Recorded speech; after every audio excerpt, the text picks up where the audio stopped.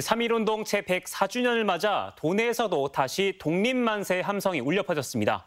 마스크 착용이 권고 수준으로 완화된 이후 처음으로 맞는 3.1절이어서 군산과 전주, 정읍 등 도내 곳곳에서 대면 행사가 진행됐습니다. 전재웅 기자입니다.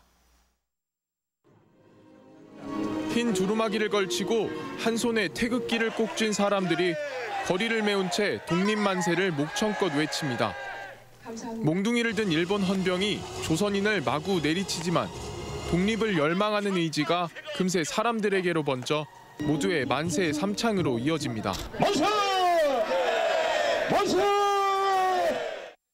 1919년 3월 5일 한강 이남에서는 최초로 독립 만세 운동이 있었던 군산의 구암동산.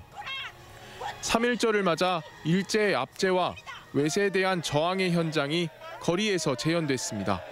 지난 2020년부터 코로나19로 인해 3.1운동을 기념하는 도내 행사들이 축소되거나 취소됐지만 방역 지침이 완화되면서 상황이 변했습니다.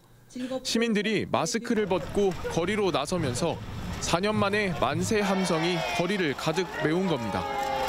코로나가 좀 완화되고 나서 친구들과 이런 행사하고 이렇게 행진하고 나니까 좀 인상 깊었던 것 같습니다.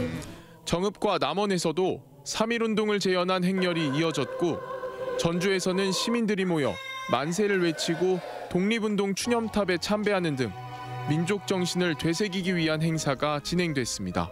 우리가 이렇게 사실 자유롭게 살 수 있다는 것은 3.1운동을 하셨던 선조들이 있었기 때문에 가능한 거기 때문에 제104주년 3.1절을 맞아 태극기가 휘날리고 그날의 함성이 재현되면서 시민들은 다시금 독립의 소중함을 되새겼습니다.